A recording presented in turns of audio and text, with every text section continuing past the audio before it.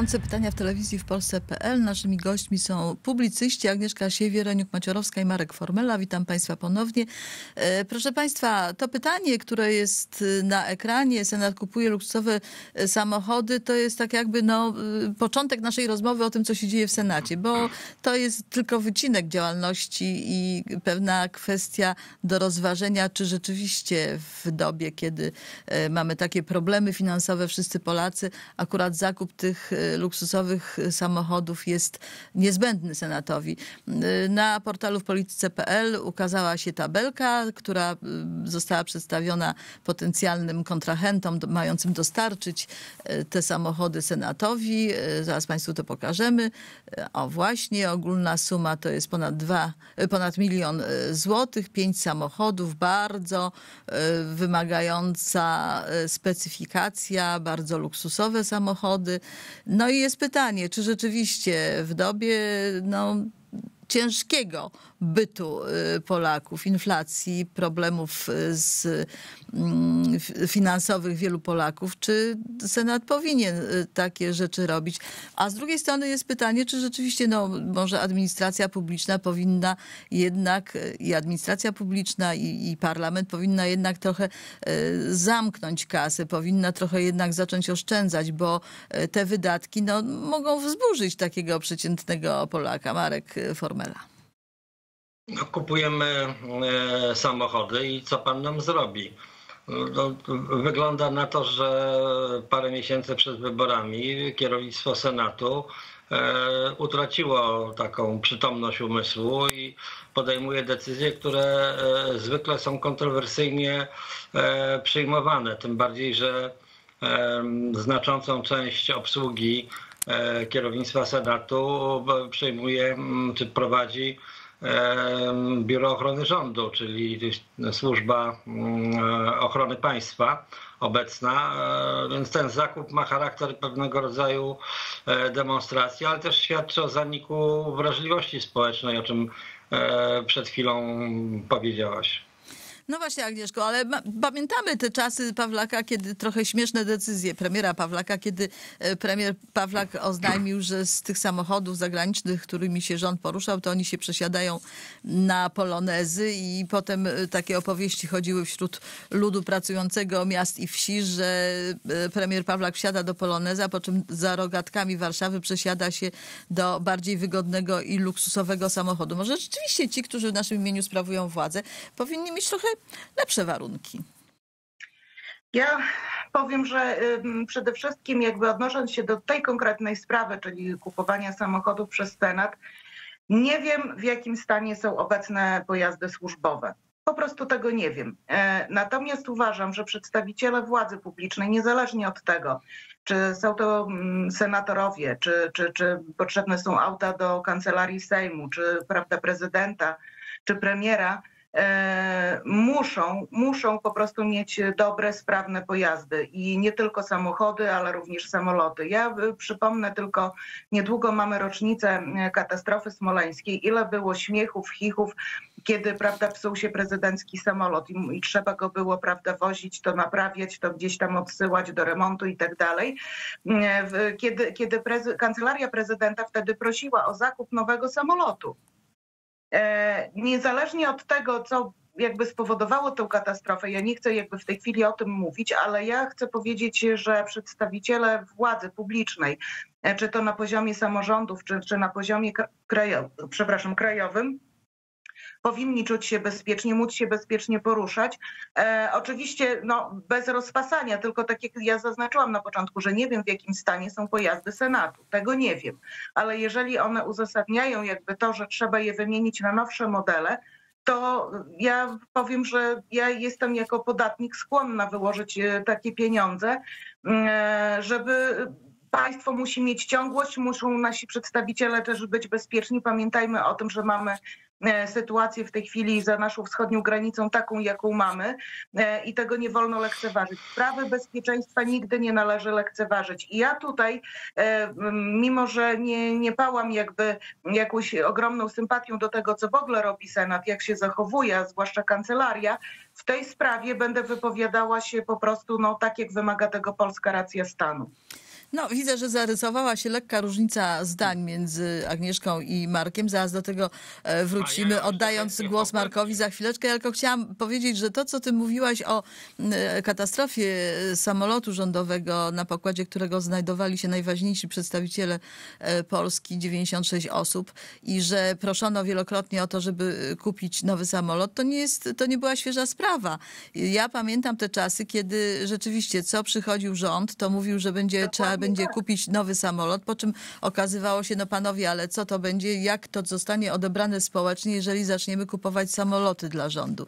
Więc tam był taki strach trochę przed y, tym, co powie opinia publiczna. Przecież i, i to zarówno Leszek Miller, jak i wcześniej poprzedni premierzy, no też wiadomo było, że te samoloty długo nie polatają i dobrze by było je wymienić dla bezpieczeństwa najważniejszych osób w państwie. No ale takich decyzji nie podjęto. Marek Formela. No ja, ja zwracam tylko uwagę na fakt, iż najważniejsze osoby w państwie e, są jednak objęte ochroną SOP-u, co oznacza, że mają dostęp do samochodów, które, e, których jakość nie, nie budzi wątpliwości. Ta flota jest e, w tej chwili systematycznie wymieniana, uzupełniana. Natomiast e, do obsługi kancelaryjnej, do obsługi, no nie chcę powiedzieć e, taksówkarskiej, ale takiej transportowej w ramach normalnych obowiązków, to warto czasami się zastanowić, czy taki e, krok ma głębszy sens, chociaż gdybym był politykiem Prawa i Sprawiedliwości, byłbym zachwycony, że marszałek Grodzki popełnia taki błąd publicznie pół roku przed wyborami i nie potrafi powściągnąć swoich ambicji i, i, i wymienia flotę samochodową. E, W Senacie pamiętam z kolei, ponieważ e, e, obie wspominacie e, wcześniejsze czasy, to ja pamiętam czasy, kiedy samochód e, wicemarszałka Senatu lub wicemarszałka Sejmu Donalda Tuska był znakomitym e, środkiem komunikacji, którym e, wicemarszałek przemieszczał się na rozmaite e, eventy piłkarskie i rzeczywiście, jeżeli przyjąć, że to jest e, obszar, w którym są realizowane e, zadania służbowe, zadania polityczne, to dobry samochód, żeby, żeby Donald Tusk zdążył na kolejny mecz, to jest e, rzecz cenna.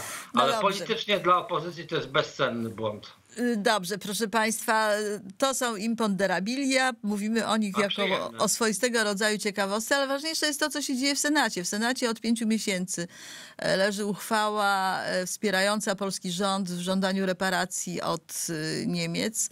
E, Senatorowie opozycji twierdzą, że nie mogą się nią zająć, bo nie znają treści noty dyplomatycznej wystosowanej do mm, rządu niemieckiego i pomimo tłumaczeń MSZ-u, że nie udostępnia się treści not dyplomatycznych, nie chcą się tą uchwałą zająć. Druga uchwała, która wpłynęła 16 września, dotyczy e, ochrony e, godności, czci e, Jana Pawła II.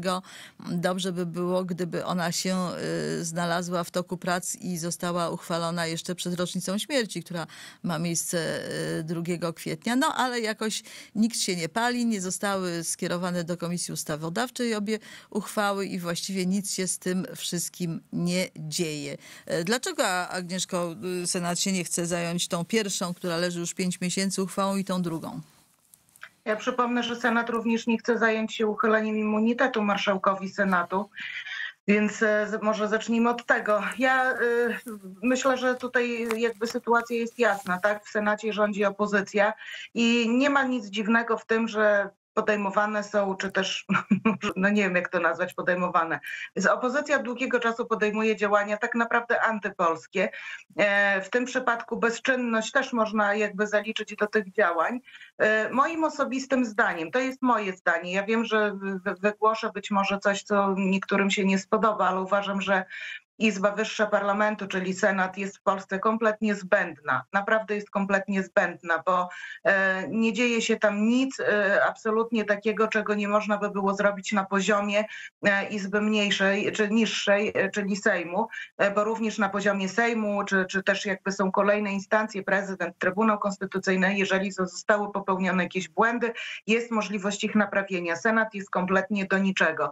No, nasza konstytucja jest tak skonstruowana, że Senat musi być, ale myślę, że Kiedyś, kiedyś Platforma właśnie miała taki pomysł, żeby Senat zlikwidować. Później te głosy wybor, wyborców, czy też ludzi, którzy popierali ten pomysł, zmieliła razem z innymi swoimi pomysłami, ale naprawdę Senat jest kompletnie zbędny. To jest tylko, powiem, marnowanie naszych publicznych pieniędzy, ogólnie rzecz ujmując. No dobrze, Marku, y, zaraz cię poproszę o skomentowanie tego, y, o czym przed chwilą rozmawiałyśmy z Agnieszką, ale też przy okazji o odpowiedź na pytanie, czy wobec y, tego, jak prezentuje się działalność Senatu za ostatnią kadencję, te marzenia o pakcie senackim i zdobyciu minimum 65 miejsc przez opozycję w Senacie w jesiennych wyborach no, są realne? No, po pierwsze odpowiem na pytanie o, te dwie uchwały.